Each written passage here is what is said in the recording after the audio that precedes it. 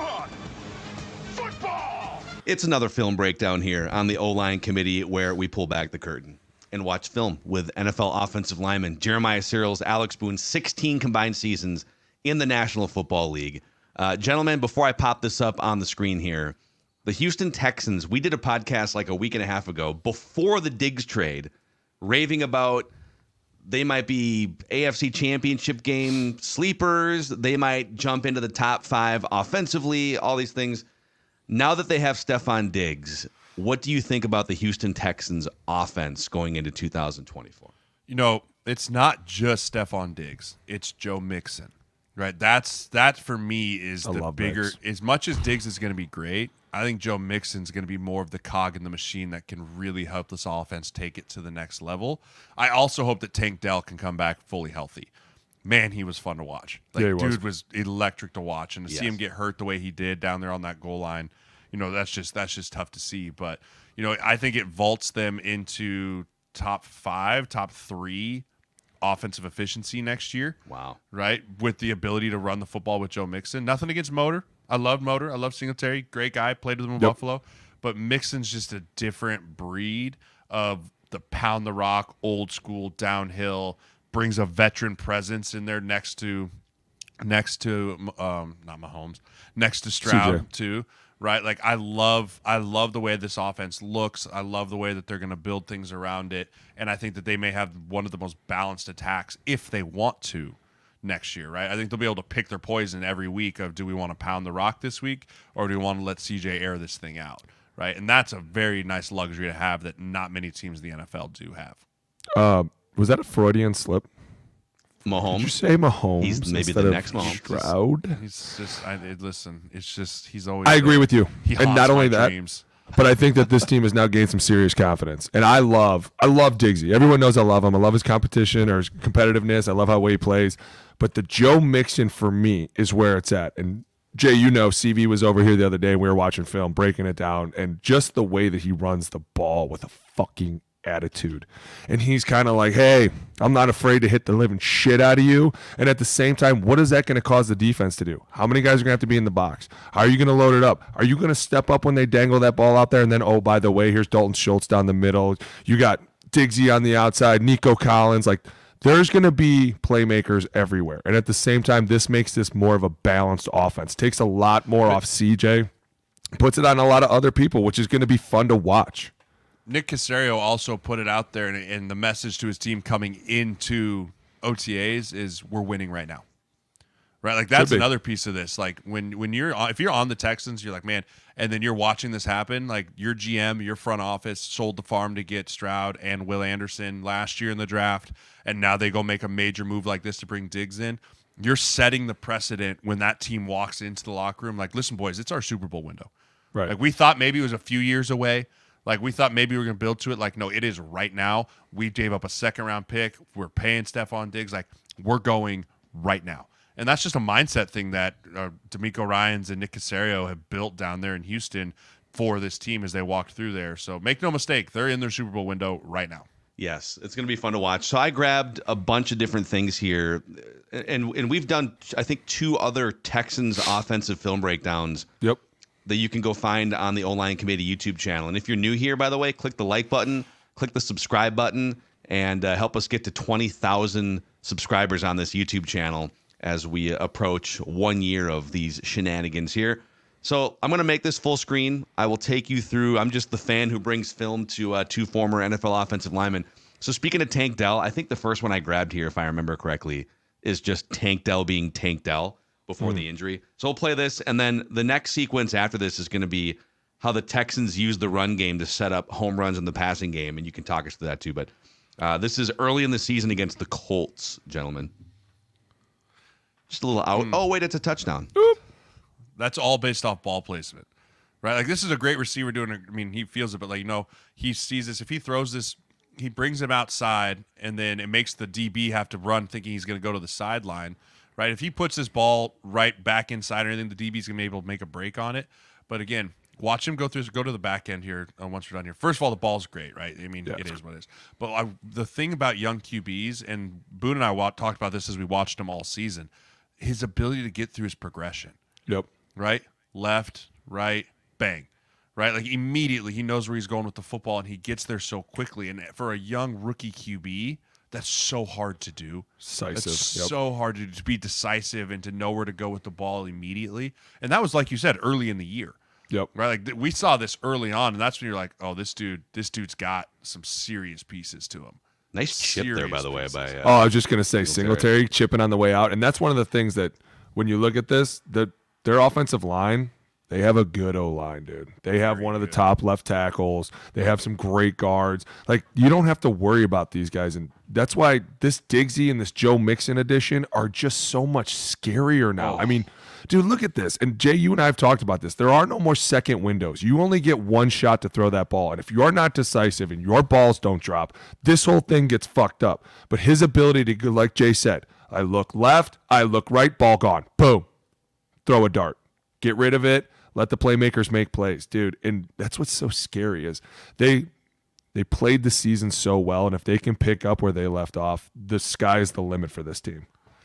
This next sequence, I'm going to show you guys. So it's it's a four play sequence, three run plays into a home run. I'm going to show you from the the sideline view here first, but you can talk us through this. This is I don't know. This is this looked like a great way to set up a 50 plus yard touchdown pass or close. To, he winds up getting tackled on the goal line. You'll see it, but pound the rock. Okay, it's against the Jaguars in like week two or week three couple yards, little two, three yard gains. We'll pound it again to the left side here. Just right over the defense. end. So this was the first play that you showed us. Yep.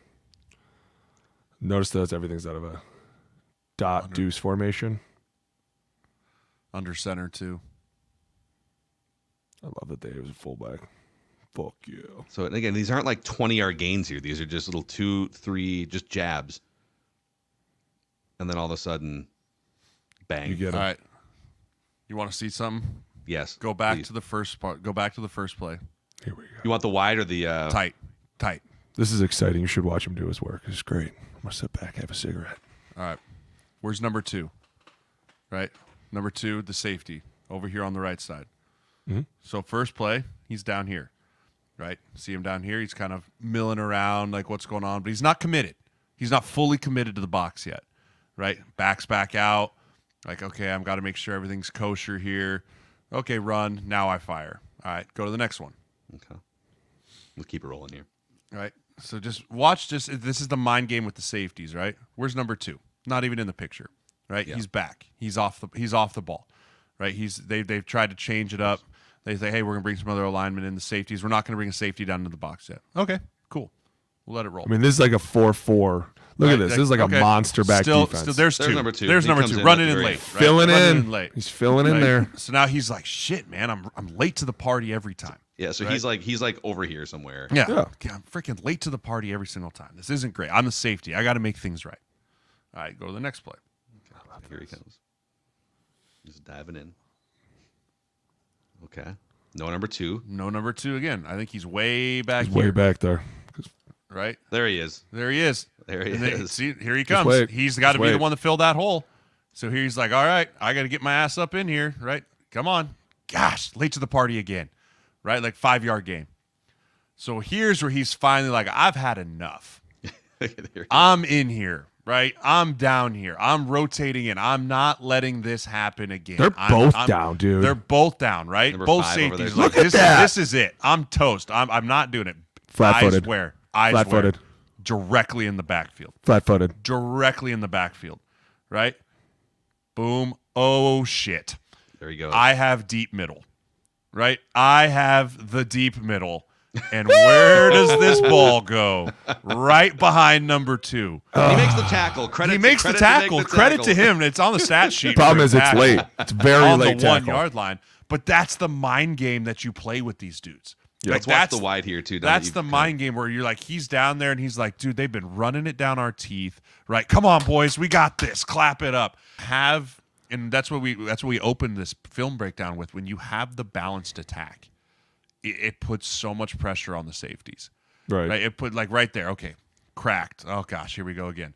Okay, run away. There's number five, filling in quickly, right? Like the safeties, when you're getting to the second level in the run game and the safeties are being factors in making plays, they panic because they know they're the last line of defense, right? If they get beat, they know it's strike up the band, ESPN, da over. da da da da. But then they just get antsy and they keep inching and they keep Hmm. inching and they keep inching, and then all of a sudden, all it takes is one yard of separation for the big play. That's it. And the perfect ball placement. That was beautiful. That was a great breakdown right there. You're welcome. way. You're welcome. stuff. That was now, amazing. okay, we're moving through the season here. Got little Steelers game. Look at the play again. The placement on these passes. There's Nico Collins, little 1,200 yard season. No big deal. By the way, kind of liking the red unis. Not gonna lie to you. Another great pocket.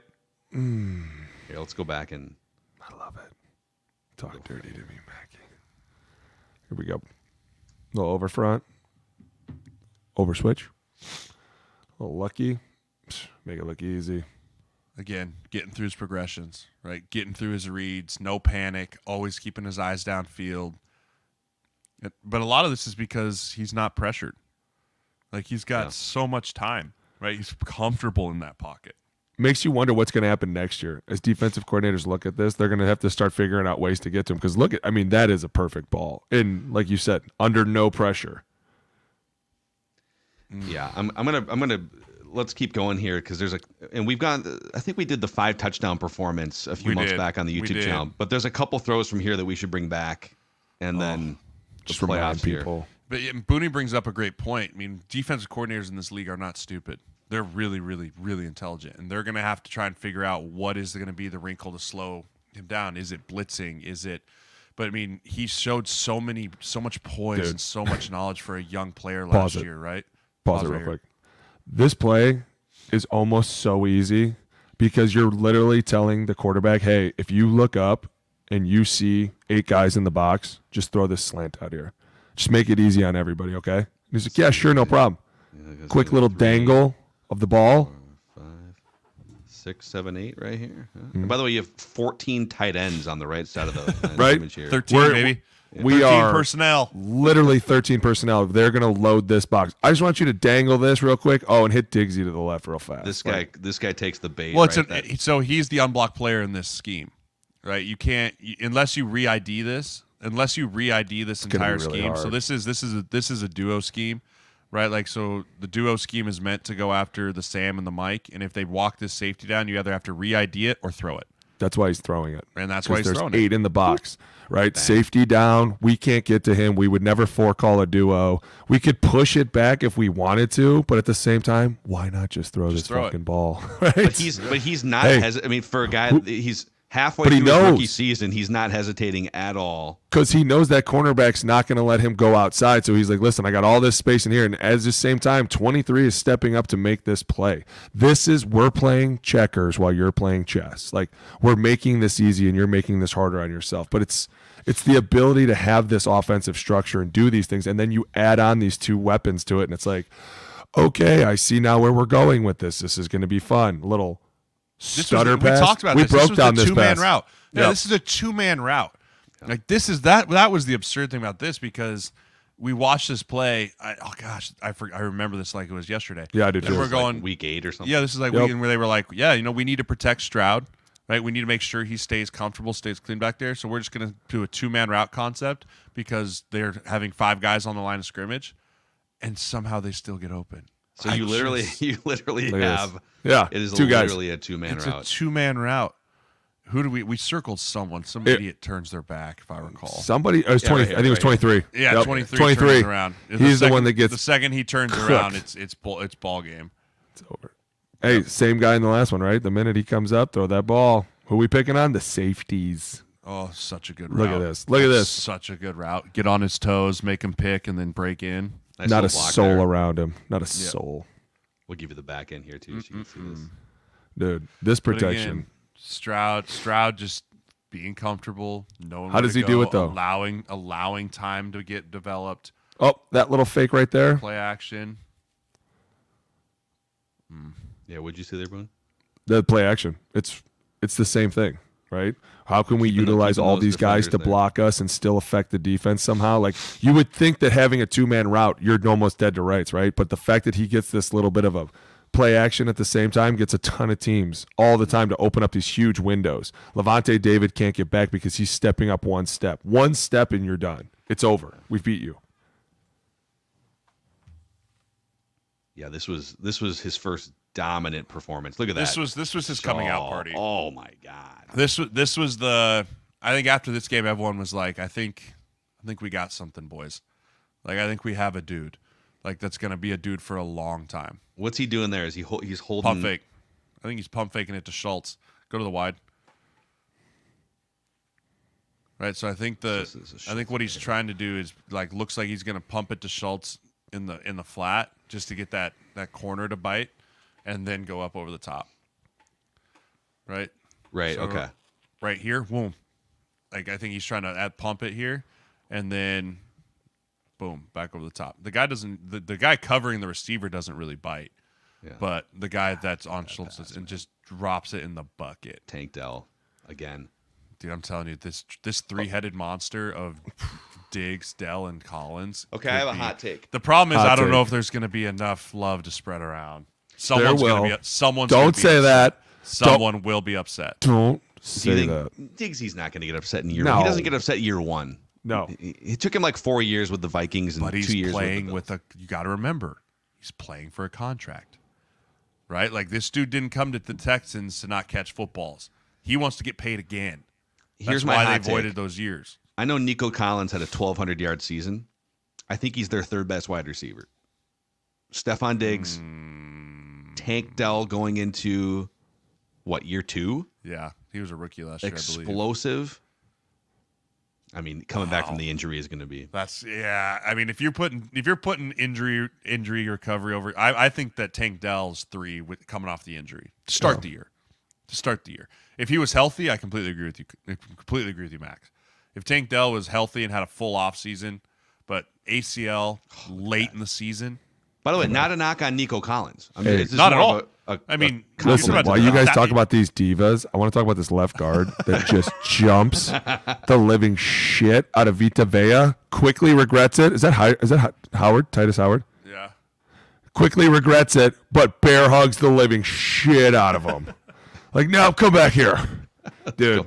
Dude, just fight We were- bear. I was just talking to somebody in the gym, and I was like, listen, you know, jump sets are cool and should never be your primary set against someone unless it's Vita Vea. I was like, we do not want that. Like, that to me right there, total win. Just jump his ass and don't let him get there. We call this a hole shot throw, right? Is that what the kids call it? A hole shot A whole shot? over the over the corner, under That's the That's more on the go route on the cover two. This is just knowing your coverage and dropping it. like right in oh, his face. I know. that's so pretty. Mm, I'll give you another one here. It's unguardable. Let's get you one more. One more. The thing to of beauty. Give it to me. Oh, I mean, God protection. Empty. Spread them out. Declare your intentions. Bang. Boink. It's he just makes it look like he's been in the league for ten years. He just, I mean, his his film study and his preparation must be fantastic, and I do mean that because this isn't just luck. And I think some people be like, "Oh my gosh, he's so talented." Like, yeah, but he must also prepare incredibly well. He and knows hats off to that that is doing, staff for getting him and putting him in the right position to succeed. Like knowing, hey, I got a rookie quarterback. Let's max protect him in here. Let's not always put him in a seven step drop. Right? Like change his drops, change his reads, change all that stuff and give him answers to the test, right? Hey, if they're gonna be in this formation and they drop this safety down, just throw the football. Right? Take it off his plate. Give him good. I I love what this Texans offense did to help him at the beginning of the year have confidence. And now it goes back to the fat guy touchdown. It's the best. Love it. ever. Love it. Never get in trouble for doing that either. Mm. Oh, man. So there it is, guys. I think if everyone stays healthy, you're, by the way, the running game last year was kind of sus. Three Yeah. and a half yards a carry. That's why Why, got that's why I'm so excited about Mixon. Dude, he's a he's a punishing back. He is a run it down the middle of your goddamn face. I don't care. I'm gonna just watching play after play after play the other day of him just running through people and you're like how much can a defense take before eventually they're just so afraid of him and then we just go over the top with Diggsy or Schultz or somebody like it's, it's gonna be exciting DeMeco I'm so Just need a excited li- for you buddy Just a little running game to go along with this. So excited. ridiculous passing attack. It's gonna be fun. Danielle Hunter is on that defense now. Oh. So we could probably do a breakdown of that alone the defense is going to be him and Will Anderson Jr. Fun oh, times in Houston. Fun times in Houston. been enjoy it. All right, that's the O line committee here. If you enjoyed this film breakdown with Jeremiah Sirles, Alex Boone, I'm Phil Mackey. Click the like button and the subscribe button on this YouTube channel, and we'll see you guys next time.